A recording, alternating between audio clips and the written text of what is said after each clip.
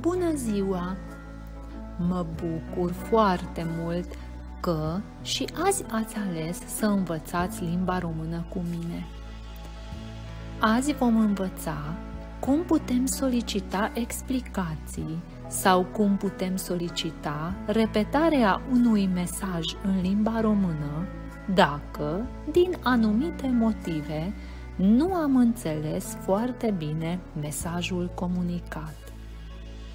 Ascultați cu atenție dialogul dintre Maria și Mihai și observați cum solicită copiii explicații dacă au nelămuriri în legătură cu anumite informații ascultate.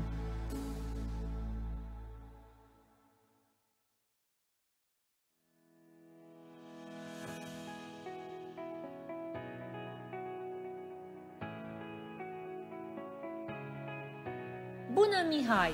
Salut, Maria! Ce mai faci? Mulțumesc bine! Și tu? Mulțumesc la fel! Unde mergi în vacanță? Nu te-am înțeles prea bine din cauza vântului. Poți repeta, te rog? Te-am întrebat unde mergi în vacanță. Mă duc la țară, la bunicii mei.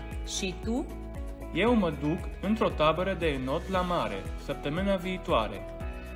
Vai, înseamnă că nu poți să vii la petrecerea Ana Mariei. Am înțeles bine?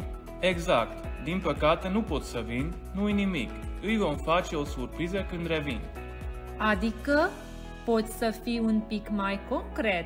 Sigur, m-am gândit să-i organizăm o petrecere surpriză doar cu prietenii. Vrei să spui că va fi o petrecere fără părinți? Da, o petrecere fără părinți. Nu crezi că e o idee bună? Mihai, este o idee minunată! Să înțeleg că mă vei ajuta să pregătesc evenimentul. Sigur că te ajut! Ne auzim când te întorci. Adică peste o săptămână. Exact! La revedere, Mihai! La revedere, Maria! Lucrați în perechi.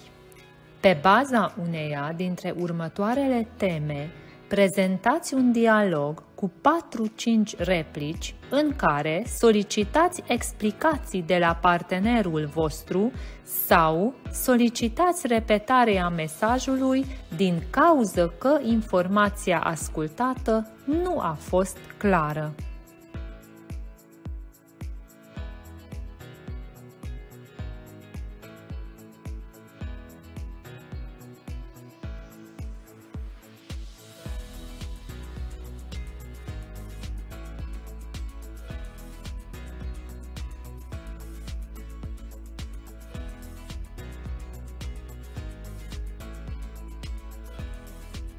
Sper că v-ați distrat bine în această activitate de limba română.